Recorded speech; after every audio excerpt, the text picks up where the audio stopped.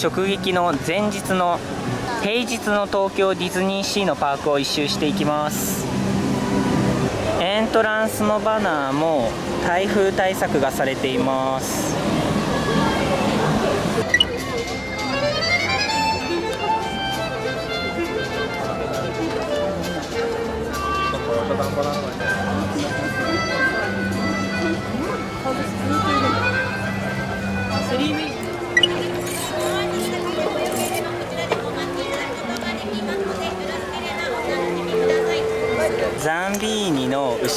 にある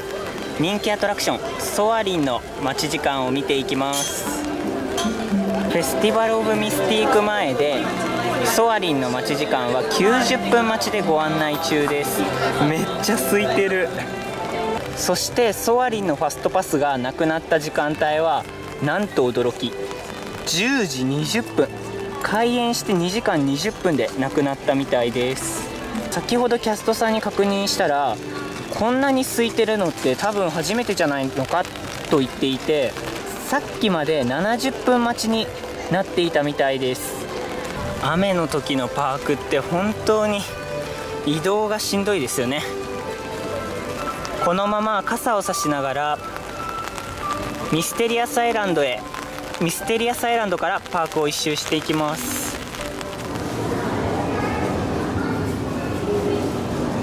プロメテウス火山の中は歩きやすいです。現在センターオブジアースは休止中に入っていて11月30日に復活予定です。なので今の期間来ていただいてもセンターオブジアースは運営していないのでご注意ください。今日は気温が低い関係かアイスクリームのワゴンもそこまで列ができていないです。最低2万マイルの待ち時間は10分待ちでファストパスの取得時間は利用時間は今から5分後の利用時間13時50分から14時50分の利用時間を発見しています。これ10分待ちだからファストパス出す必要あるかな？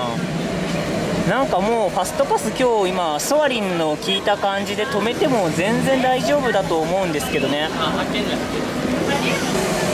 いつもに比べたらボルケーニアレストラン前も少しだけゲストの方の間が空いていて傘がある関係かちょっと多くは見えるんですけどいつもよりは空いているように感じます。それではミステリアスアイランドの中にあるノーチラスギャレーでハロウィンのスペシャルフードを食べていこうと思います。スペシャルマンやソフトドリンクペットボトルも置いてあります。スペシャルマン頼んでみました。デザインがミッキーのお化けになっています。多分このミイラくん仕様だよね。かわいいなこれ。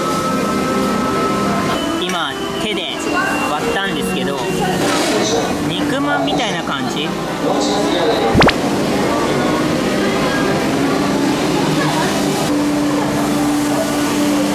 はいマーメイドラグーンに入ったんですけどアリエルとグリーティングができる。アリエルのグリーティングクロットは30分待ちでご案内中です。いつもは50分待ちなんですけど今日は20分短め30分待ちでご案内中です。はいマーメイドラグーンのアンダーザシーへ入りました。アンダーザシーの中もゲストの方が少なめで歩きやすく感じます。アリエルのショーが見れるマーメイドラグーンシアターは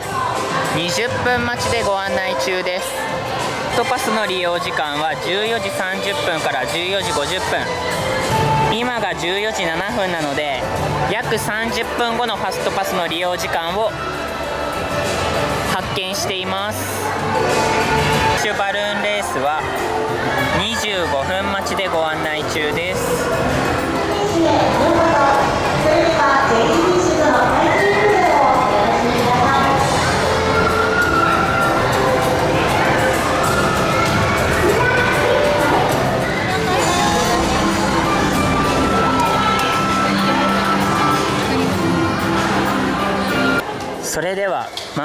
ドラグーンの出口にある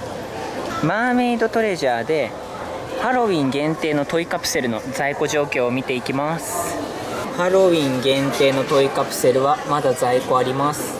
1回400円でランダム1つ出てきます。それではマーメイドラグーンを抜けてアラビアンコーストへ入っていきます。すごいゲストの方いなくてガラガラっすね。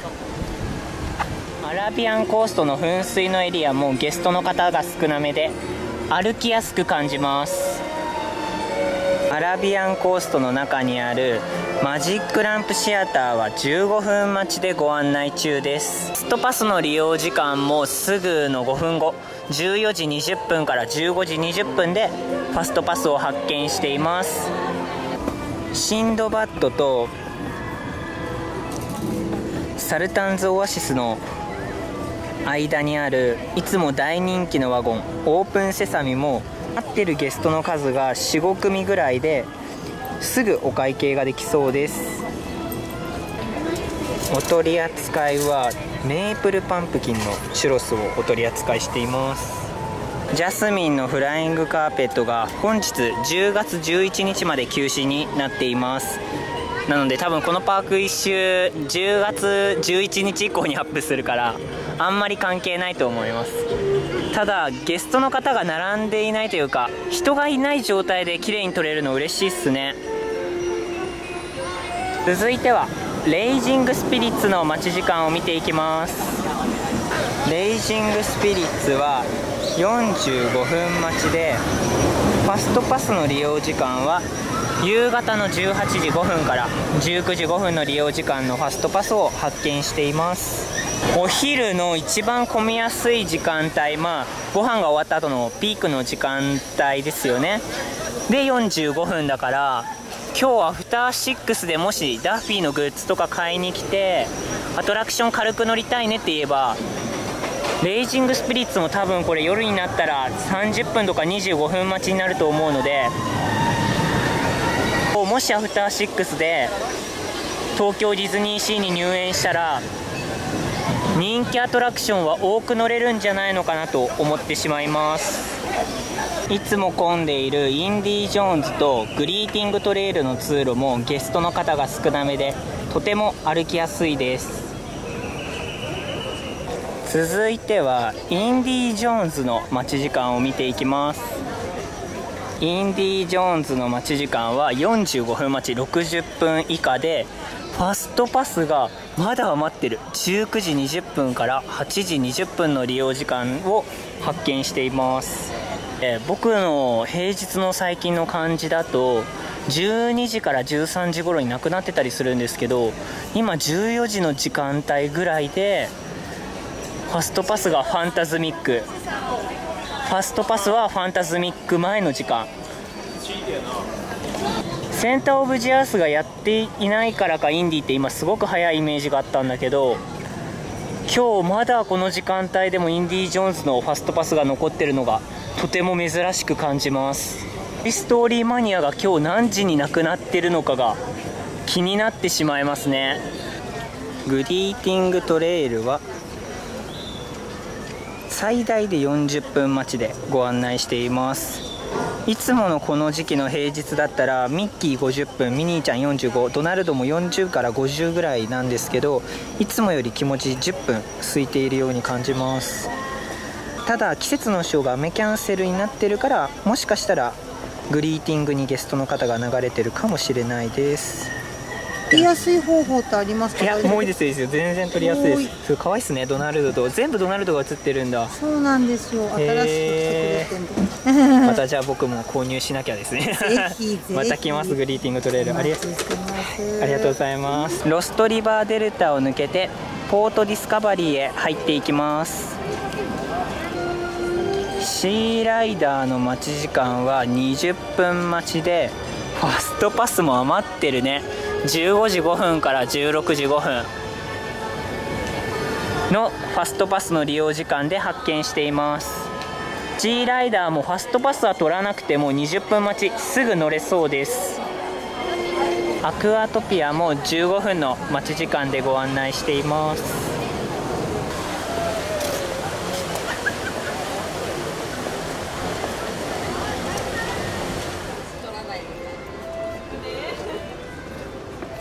半身だけがいいケープコットへ着きましたケープコットも本当にゲストの方が少ないダッフィーたちのショーが見れるケープコットクックオフはお食事のみは0分待ちお食事とショー割りも0分待ちでご案内しています今日パーク自体がゲストの方が少ないのでケープコットクックオフレストランもいつもだと混んでいる時間帯なんですが今日は特に待ち列ができてなくてすぐ入店できそうです。マイフレンドダッフィーのショー付きもレジに並んでるのが45組ぐらいなのですぐお会計ができそうです。スーベニアは特に変更等はないですね。全部今のところ変わっていないです。チェリーメイとグリーティングできる施設は空いてる。30分待ちでご案内中です。トランジットスチーマーラインは20分待ちでご案内中です。ケープコットを抜けてウォーターフロントパークへ入っていきます。奥がドッグサイドステージなんだけどそこに階段があって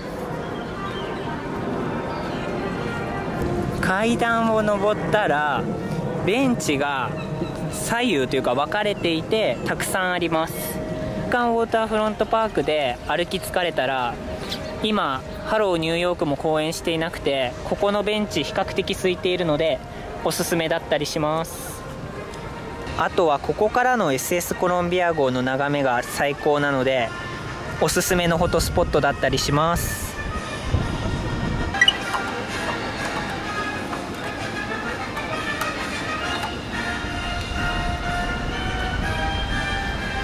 タートル・トークは15分待ちでご案内中です。続いてはタワー・オブ・テラーの待ち時間を見ていきます。15時15分ぐらいのタワー・オブ・テラーの待ち時間は 20分待ちで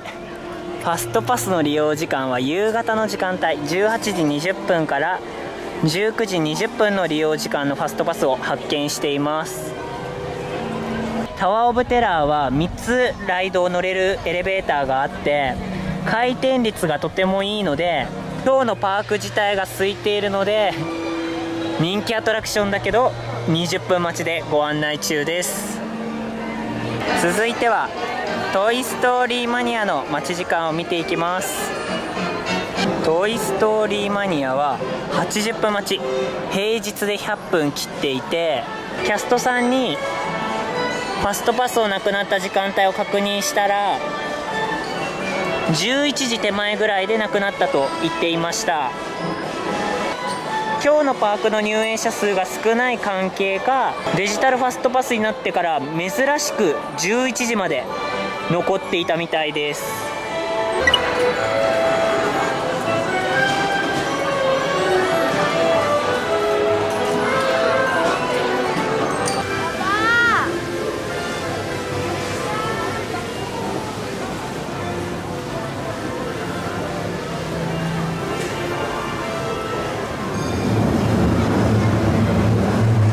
ではマクダックスデパートメントストアへ来ました。ここで最新作のダッフィーの防寒グッズとお休みシリーズのグッズの在庫状況秋の冒険のグッズの在庫状況も見ていこうと思います。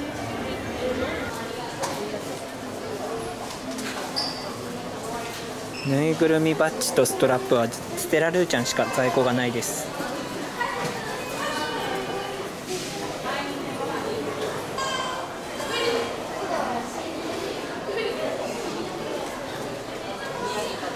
在庫が秋の冒険はかなり少なくなってきています。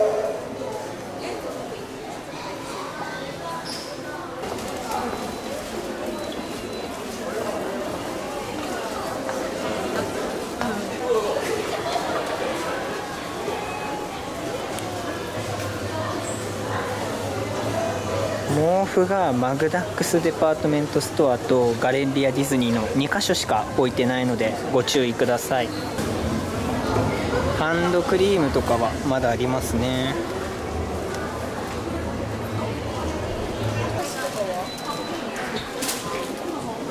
パーカーも全種類在庫あります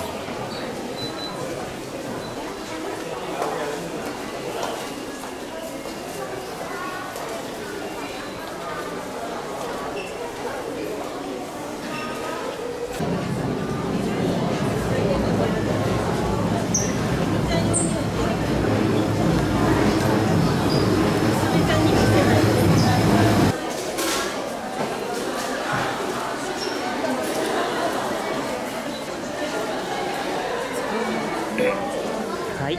ということでメディテレーニアンハーバーへ戻ってきました。ここでもキャストさんたちが3回目公演のために必死にステージの準備をしています。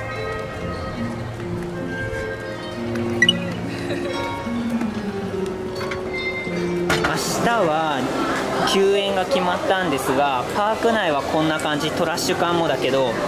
台風対策がされています。待ち時間見ていきます。ソアリン80分に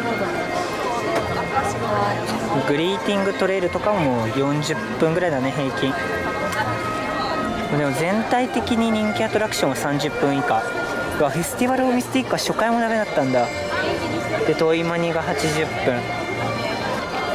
混雑度2にさせていただきます。続いては最後に C のハロウィンのグッズの在庫状況を見ていきます。はいそれではハロウィンのグッズの在庫状況を見ていきます。